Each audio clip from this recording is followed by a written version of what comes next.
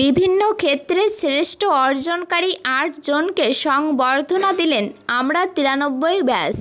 গোমাস্তাপুর, চাপাই, নবাবগঞ্জ প্রতিনিধি মোহাম্মদ সিপাত রানার পাঠানো তথ্য ভিডিওচিত্রে দেখুন বিস্তারিত।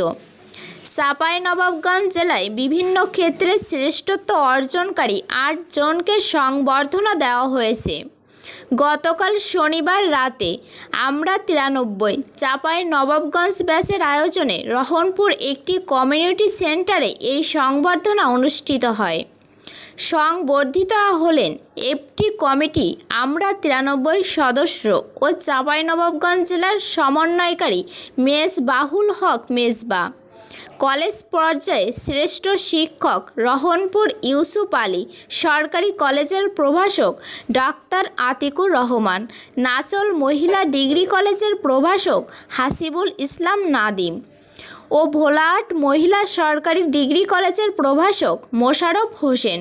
চাপাই নবাবগঞ্জ জেলার শ্রেষ্ঠ রোভার নাচল সরকারি ডিগ্রি কলেজের প্রভাষক সাইফুল ইসলাম।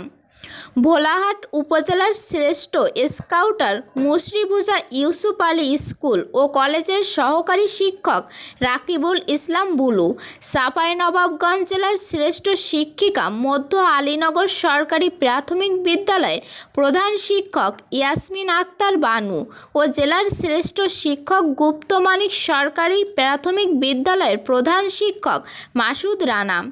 অনুষ্ঠানে সংগঠনের পক্ষ থেকে তাদের ফুলেল শুভেচ্ছা ও ক্রেস্ট তুলে দেওয়া হয়েছে।